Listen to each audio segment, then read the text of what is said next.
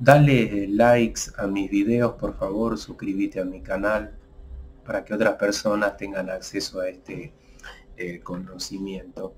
¿Cómo se pegan las malas energías a uno? ¿Cómo se pegan las entidades? ¿Cómo se pegan las larvas energéticas?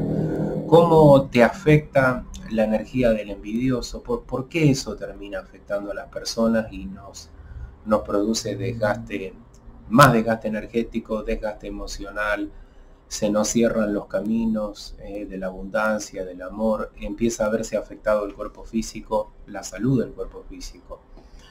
Bueno, esta es una explicación que yo creo que puede ayudar a pensar a la gente, ¿no? a las personas que vean este video.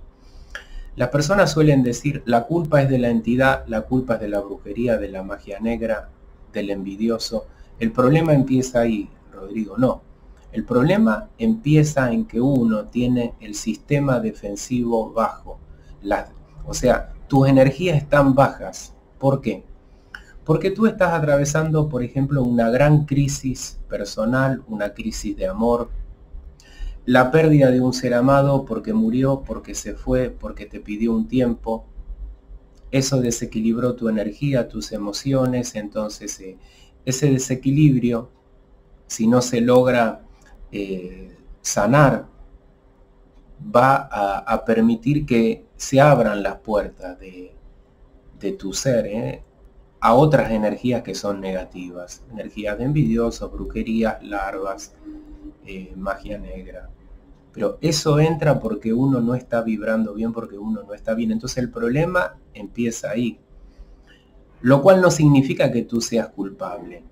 Significa que si tú inconscientemente, porque te ha bajado la energía, porque estás en un gran problema, en una crisis, has permitido la entrada de todo eso sin tú ser consciente, tú puedes revertir todo el proceso, empoderarte y sanar y despegarte todas estas energías de mala vibración. Cuando hay la pérdida de un ser amado, porque se murió, porque se fue, porque nos dejó de amar, cuando la persona además toma contacto con muchas brujerías de baja vibración. ¿Mm? Yo noto que en, la consulta de todos los días aparece mucha gente que ha practicado muchos tipos de brujería. Todo trabajo de magia negra, amarre, trabajo de dominación. Han ido desesperadas o desesperados de brujo en brujo y el resultado es que la energía de esa persona está muy abajo.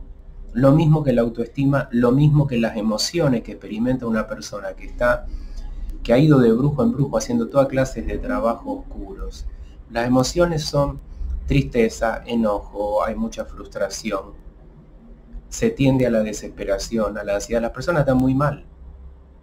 Y la persona dice, Rodrigo, mire, me parece que me han hecho brujería y yo, yo te digo, sea brujería o no, hay que empezar por ti. Hay que empezar por cambiar tu estado mental, tu estado emocional, el estado de tu energía porque estás vibrando muy mal. Entonces el tomar contacto con magias para castigar, venganza, dominar a una persona, amarres y además tomar contacto con muchos brujos que mal aconsejan a la gente. Que en vez de intentar buscar la luz que hay en ti, te llevan a la parte más oscura de ti mismo o de ti misma. Validan los aspectos tóxicos tuyos. Lo más tóxico de ti es lo que validan estos brujos simplemente para que tú hagas un ritual oscuro, pagues y te jodes tú. Entonces, una gran crisis en el amor, la pérdida por muerte, porque se fue un ser amado y te dijo no te amo más, el tomar contacto con magia negra, con rituales de baja vibración, son causas muy, muy comunes que provocan que se nos peguen entidades, parásitos energéticos, también cómo, cómo está nuestro circuito energético, con qué gente nos movemos en la vida. Si tú me dices, mire, tengo una pareja con la que llevo una relación tóxica, de maltrato, de manipulación, me hace sentir culpable, no puedo ser yo misma, todo eso va a impactar en tu energía, en tus cuerpos energéticos, todo eso va a impactar en tu salud mental y, y en la salud de tu cuerpo físico. Por eso las personas que llevan relaciones tóxicas a veces suelen decir, Rodrigo, mire, cada vez estoy peor y yo no entiendo por qué, porque amo a esta persona, pero es que tú no estás entendiendo que estás viviendo una relación de amor tóxico que no es amor. Entonces, claro que cada vez vas a estar más desgastada energéticamente, tu energía va a estar más baja, tu sistema inmunológico se va a ver afectado y vas a absorber o vas a chupar todas las energías de mala vibra a tu alrededor. Pero no por una brujería, sino porque la, la, realidad que vos estás creando al llevar adelante una relación tóxica es la que va a provocar todo esto. Y tú, sin entender, dices, no, el problema es que me han hecho brujería. No, el problema eres tú, que no eres consciente de todo esto.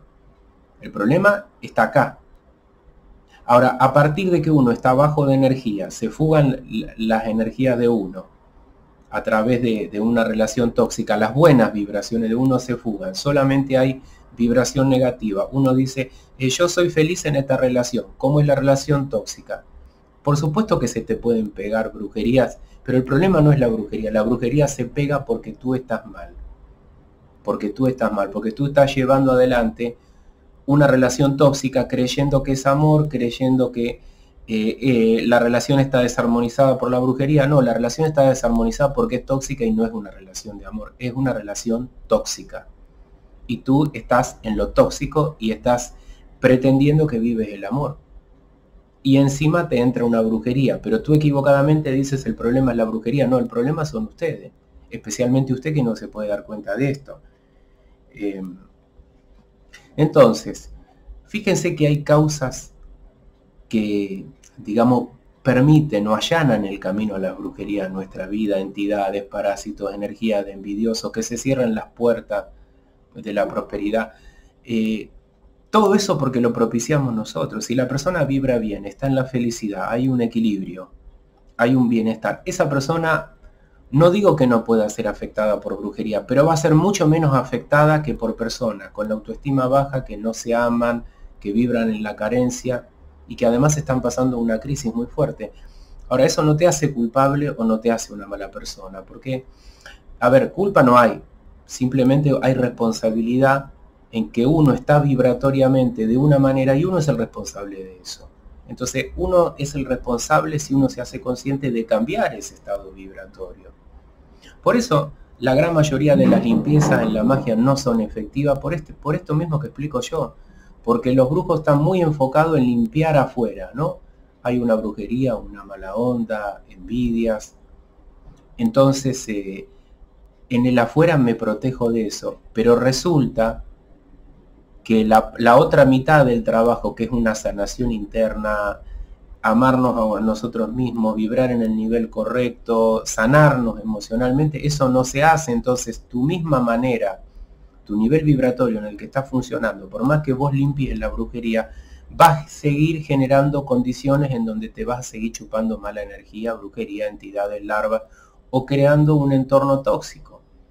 Y esto sé que es muy a veces difícil de ver, porque la gente cuando está muy atrapada en lo tóxico cree que, eso es la felicidad, el bienestar y que desde afuera le han truncado la felicidad y que las cosas no funcionan muy bien porque el problema es afuera. No, el problema es que lo que tú llamas felicidad y amor no es amor y felicidad, sino es una relación tóxica que va a hacer que se fugue tu buena vibra, que tu autoestima vaya por el piso y se te peguen las entidades.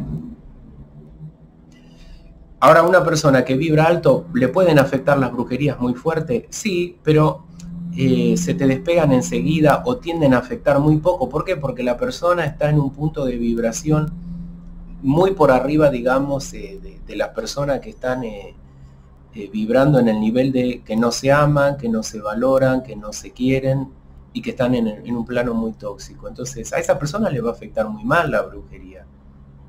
¿Mm? Cuando hay un aborto, cuando una mujer pierde un bebé o decisión propia, a veces se produce un estado de depresión y de tristeza, y esto lo, comento para responderle a una chica, un estado de depresión, de vacío, de sinsentido, de tristeza, de culpa a veces, ¿eh? sea que el aborto lo hiciste vos por voluntad propia y de manera consciente o se produjo, que hace que nuestro campo energético baje, ¿eh? porque se ha diluido dentro de ti la, energía de un nuevo ser que venía a este mundo y, eso, digamos, te puede bloquear, ¿eh? porque hay, cuestiones, eh, hay cuestiones que tienen que ver con lo, con lo energético, ¿no? La pérdida de esa energía que se diluye dentro tuyo, pero también esas emociones, esa mente que tuya que, que de pronto empieza a percibir tristeza, depresión, culpa. O sea, ahí tenemos causas energéticas, causas mentales, emocionales. Mm, yo he hablado a lo largo de los años que hago esto con, mujeres que me dicen, mire, yo decidí hacerme un aborto, pero no pensé que me iba a sentir tan deprimida, Rodrigo. Porque en mi visión de las cosas no veo que eso esté mal. Ok, cada uno eh, lo piensa a su manera, ¿no? Yo respeto todos los puntos de vista.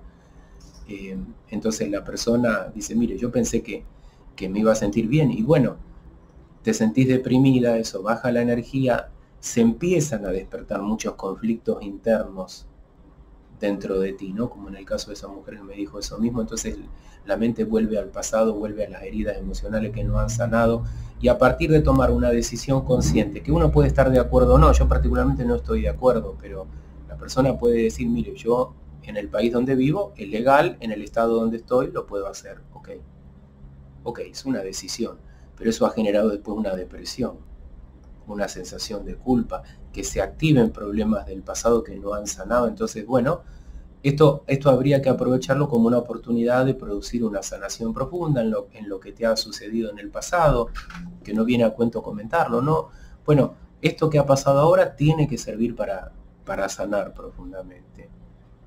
Y porque todo lo que nos pasa es una oportunidad. Ahora, ese estado energético vibratorio tuyo puede generar que en este momento tú me diga, mire Rodrigo, estoy absorbiendo mala energía, la gente me critica, la gente me comenta, me envidia, me echa mal de ojo.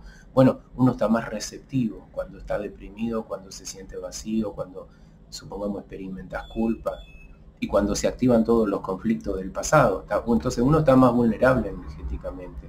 Eso te puede pasar a ti, amiga, que te contesto esto como quedamos sin decir ningún nombre ni nada por una cuestión de respeto hacia tu privacidad, como me puede pasar a mí, como le puede pasar a cualquier ser humano.